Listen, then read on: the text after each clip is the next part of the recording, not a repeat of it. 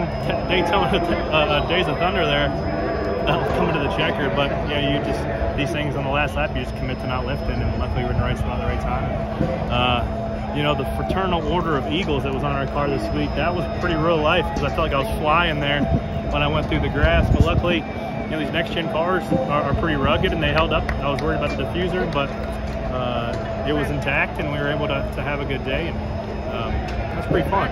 It was nerve wracking, what do you make of the racing today? Uh, you know, do I, do I, love kind of being stuck and you're at the mercy of the runs and things like that?